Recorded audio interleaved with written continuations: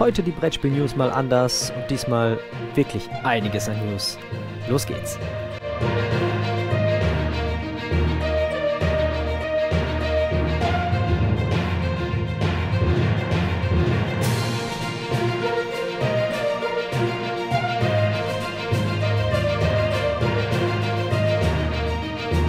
Ja, hallo liebe Freunde des gepflegten Brettspiels. Jetzt muss ich schon den Text überlegen und herzlich willkommen zu den Brettspiel-News. Heute mit mir sozusagen gleich aus eigener Sache. Äh, ja, Benny ist verhindert. Wir haben lange überlegt, sollen wir eine News machen, sollen wir keine News machen.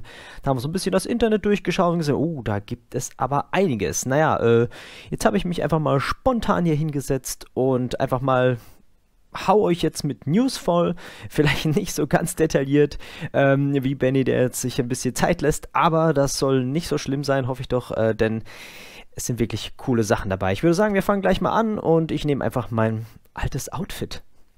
Ja, so kenne ich das auch hier mit den Kickstarter News. Aber ja, diesmal aus der Szene. Wir haben nämlich die Maren Hoffmann. Ja, die wird neues Jurymitglied.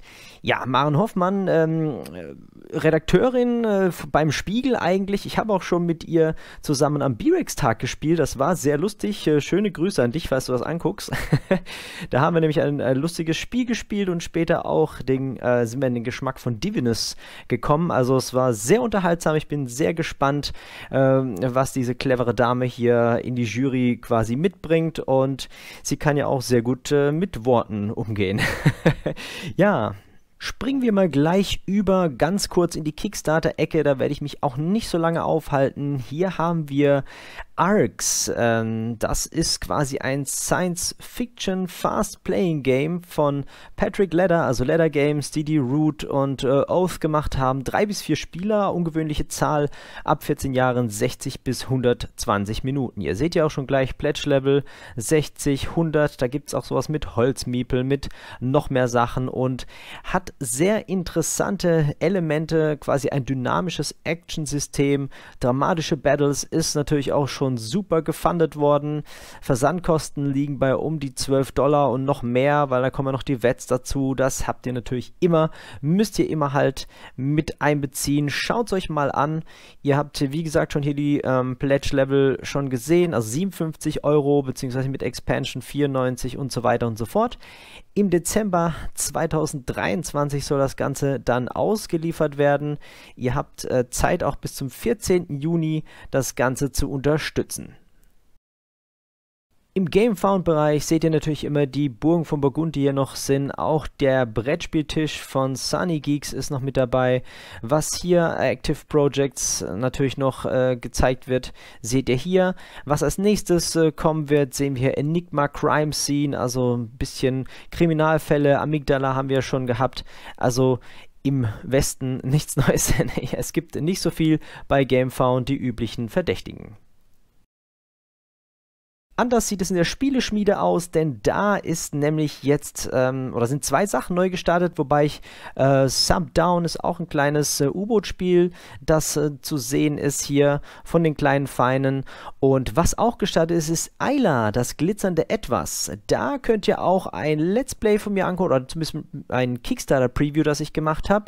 Schaut euch mal an, das ist ein sehr süßes Spiel mit Entscheidungselementen, wo man links und rechts sich entscheiden muss, Sachen sammeln kann. Ein niedliches Häschen, was hier, ähm, ja, die Protagonistin quasi ist. Ich glaube, es ist doch Häsin, ja, genau. Was aber hier auch noch ist, ist Senjutsu. Darüber habe ich auch, glaube ich, damals in den Kickstarter News gesprochen und das, äh, ja, wird jetzt endlich bei Giant Rock hier auf Deutsch erscheinen. Schaut es euch einfach mal durch. Das ist natürlich hier die Standardversion 50 mit 175 mit dem kompletten Zeug. Ein sehr cooles, ähm, ja, äh, Kampfspiel, glaube ich auch. War das das? Jetzt muss ich nochmal gucken hier. Mit coolen Deckbauelementen.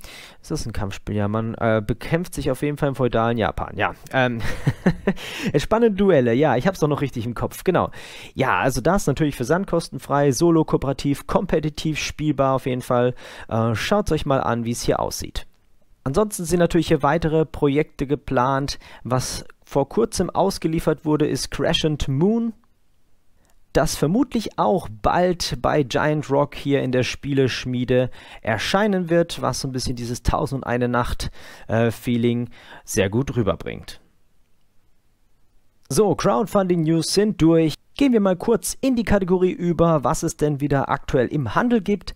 Da ist Batman Everybody Lies von Portal Games jetzt wieder verfügbar im Pegasus Shop oder auch sonst wo.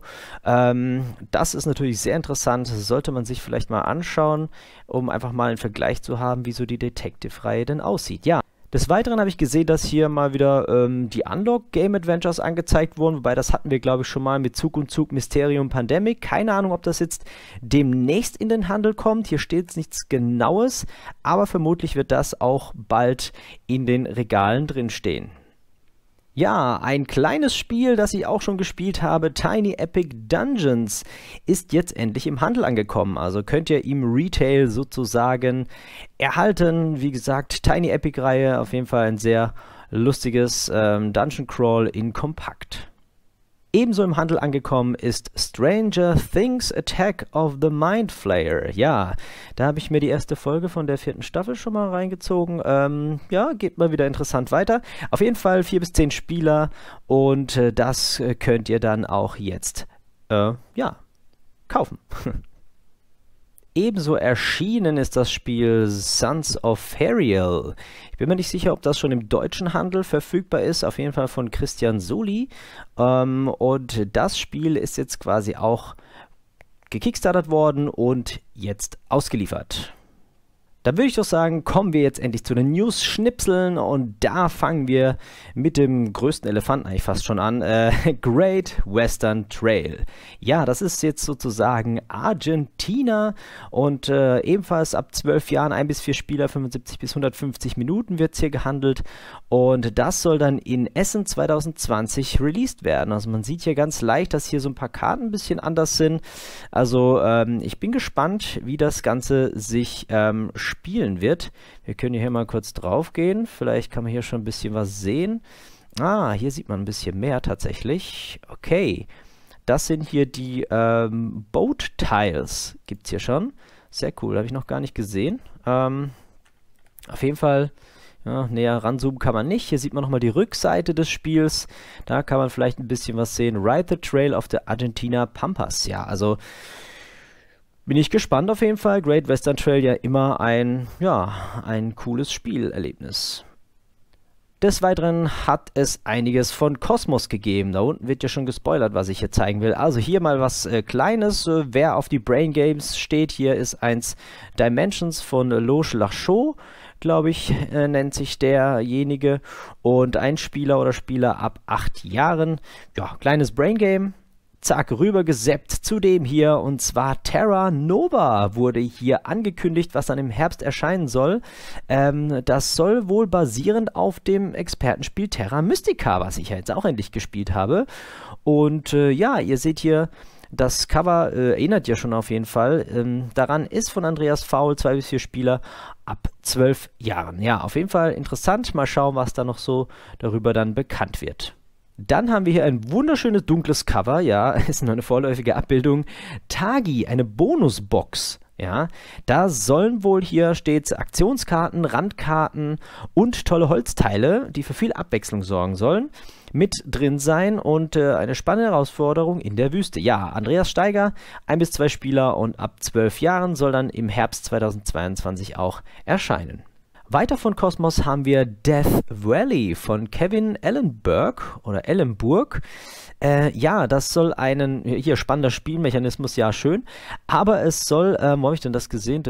Ah ja, Can't Stop. Es soll quasi den Can't Stop Mechanismus haben, wo man ja quasi würfelt ähm, und versucht dann überlegen, ha, mit welchen gehe ich nach oben, denn wenn man es nicht mehr schafft, sein Miebelchen quasi weiter nach oben zu bringen mit den Zahlen, die gewürfelt wurde, dann kriegt man gar nichts und kommt gar nicht voran. Ja, mal interessant zu sehen, wie das hier äh, eingebracht wird.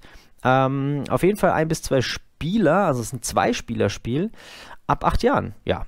Soll auch 2022 dann im Herbst erscheinen. Sind ja alles Herbstneuheiten und da kann das natürlich auch nicht fehlen. Alle haben es gewollt. Jetzt ist es da die Katan 3D-Erweiterung von Seefahrer und Städte und Ritter. Ja, da kriegt jetzt quasi das äh, volle Portfolio jetzt. Ähm, sind da Bilder dabei? Ah, ja, natürlich. Ah, man sieht nur ein Video, aber man sieht da auch nicht so wirklich, wie die Sachen aussehen. Aber natürlich ähm, hat man jetzt hier die 3D-Edition noch um die Erweiterung erweitert. See what I did there? Dann noch was Ulkiges von Cosmos, habe ich auch irgendwo gesehen. Die drei Fragezeichen sind jetzt im Kühlregal. Das heißt, ihr könnt Pizza kaufen mit drei Fragezeichen Rätselclou. Keine Ahnung, wiefern das jetzt da drin so ähm, zu rätseln ist, was da genau gemacht wird. Ähm, ja, klingt auf jeden Fall sehr lustig. Ähm, wer es mag und wer Pizza mag, ja, ist ja nicht verkehrt. Was ziemlich cool ist, wie ich finde, ist die Ankündigung von CGE Games. Die haben nämlich Starship Captains angekündigt, äh, was ja nach einem sehr verrückten, bunten Treiben aussieht. Ja, man wird hier gleich wieder an Galaxy Truck erinnert, aber irgendwie hat man auch dieses typische Star Trek-Feeling, ne? wenn man diese ähm, Anzüge anschaut. Und ja, ist von Peter B. Hovgard. Und wenn man sich jetzt die Bilder anguckt, bei Boardgame Geek hat man hier so ein bisschen schon mal Eindrücke von den Karten, wie die aussehen. Das Board, wobei das sieht noch ein bisschen prototypisch aus.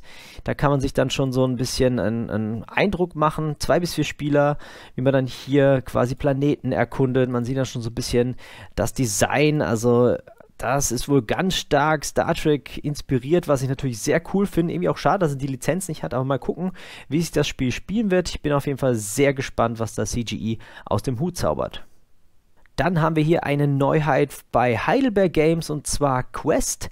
Ja, das ist auch von den Machern von der Widerstand bzw. Resistance und Q und das ist auch so in dem Stil. Ja, also soll im September 22 erscheinen.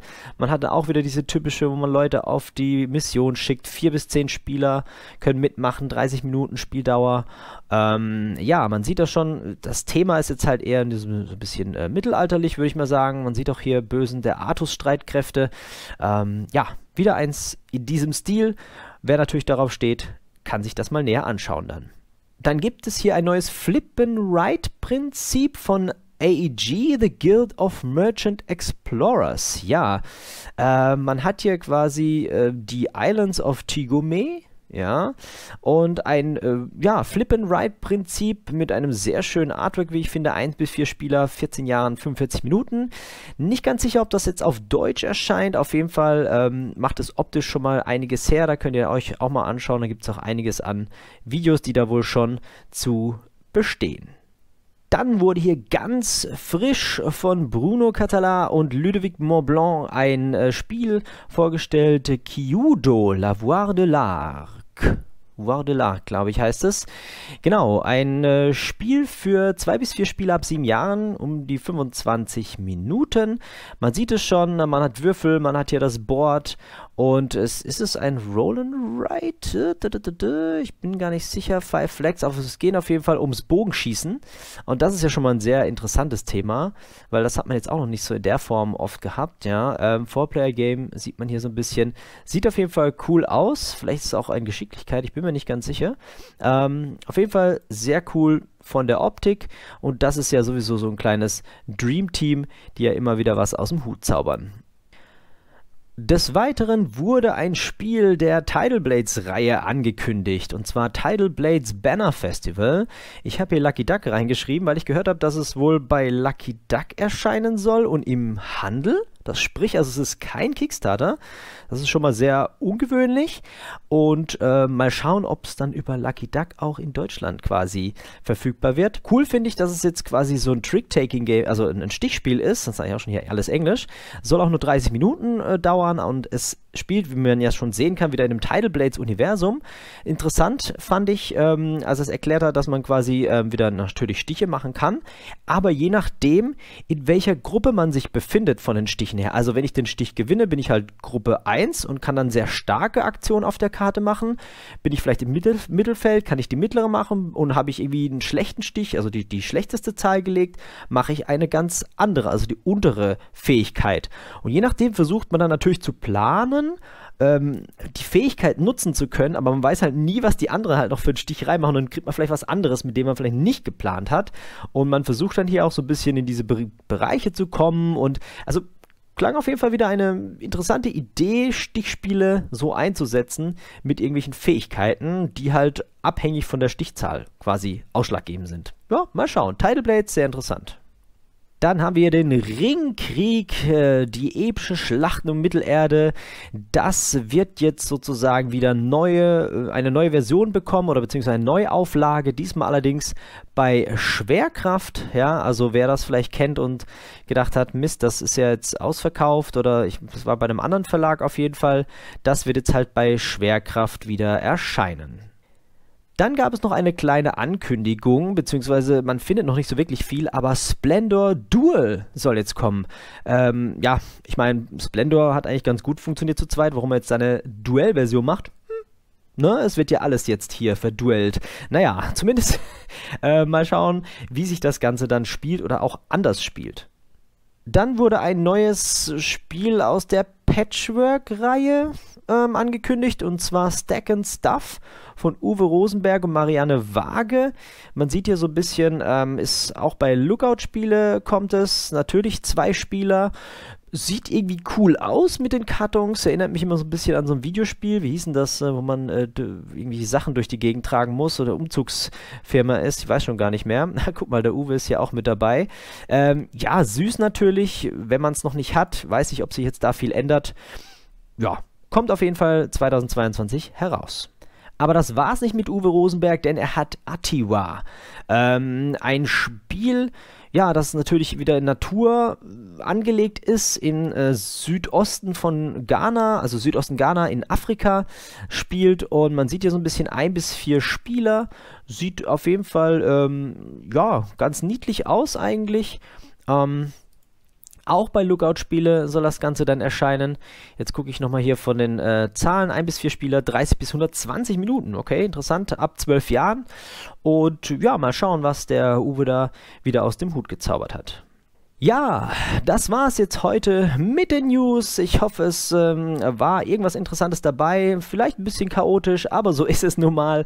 Äh, ich hoffe trotzdem, dass ihr Spaß gehabt habt und äh, nächste Woche wird dann alles wieder seinen normalen Lauf äh, nehmen, denke ich doch mal. Habt auf jeden Fall ein schönes Wochenende, schöne Feiertage und äh, ihr seht dann mein aufgetischt am Montag und ich würde sagen, dann bis zum nächsten Mal und ja, Nächste Woche dann wieder die News, denke ich mal, auf normale Art und Weise. Lasst gerne Daumen Abo da, falls ihr noch nicht habt. Und bye bye, Leute.